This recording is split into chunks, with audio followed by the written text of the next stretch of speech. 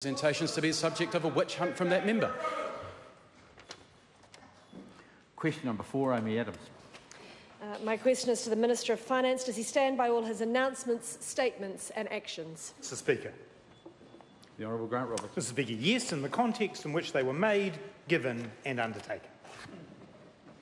Does he stand by his statements that tax policy should work for the benefit of all New Zealanders, given that today's HYEFU figures show that this Labour-led government will be collecting $17.7 billion more tax from New Zealanders over the next four years than was forecast prior to the election, despite growth having slowed? Mr Speaker, the reason that uh, that tax take is happening is because lots of people around New Zealand and lots of businesses around New Zealand are working hard, making profits and ensuring that the economy ticks over. I think it's a sad day when the National Party think that people actually doing well and paying their taxes is a bad thing. Is he aware that today's HYEFU figures show that even with growth slowing, that $17.7 billion of extra taxes mean every household will pay nearly $10,000 a year more tax over the next four years than was forecast pre-election? Absolutely reject the premise of that question. The Minister of Finance, Minister of Finance, does it follow as night follows day that taxes usually go up when businesses are successful enough and private individuals are successful enough to pay the taxes? That's exactly right, Mr Speaker, and what the books today show, that revenue from corporate tax is going up, that, um, that the contributions that people make through their PAYE is going up. And I want to remind members on the other side of the House that with very few exceptions, this is all under the tax settings that they had in place. Is the Minister aware that today's HYEFU numbers show that households' ability to save is getting worse and worse every year under this government as more taxes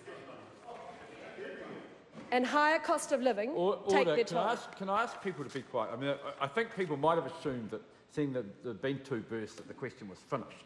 So I'll get the member to start her question again, but remind her that questions should not have, as, as Mr Brownlee has pointed out, questions and answers should not have more than is necessary and certainly shouldn't have more than two legs.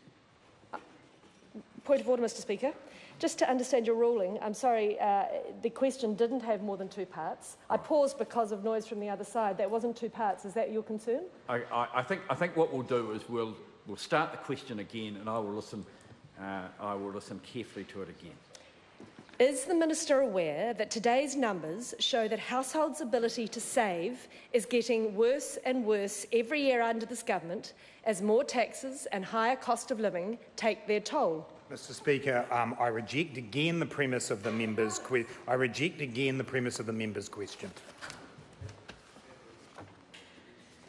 Can we take from today's announcements that the transformational government that this minister says he's leading really means higher taxes, lower growth and households worse off?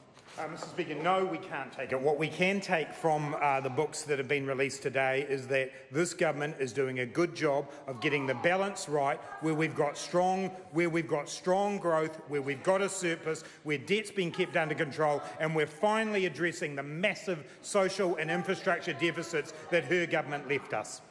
The right honourable Winston Peters. Uh, on the question of capacity to save, is it not a fact that twofold? Once, the Cullen Fund is saving more now than ever before, and KiwiSavers with record numbers before that, that are not matched by any previous period in our history. Yes, uh, both of those things are true. And the fact is that this government has turned around what the previous government failed to do, where they did not put in any government contributions to the super fund for order, nine order, years. Order, order. We have had numerous speakers' rulings over the years about um, donkey drops to attack the opposition. Question number five, Paul Goldsmith. The Honourable Paul Goldsmith. Thank you, Mr Speaker. My question is to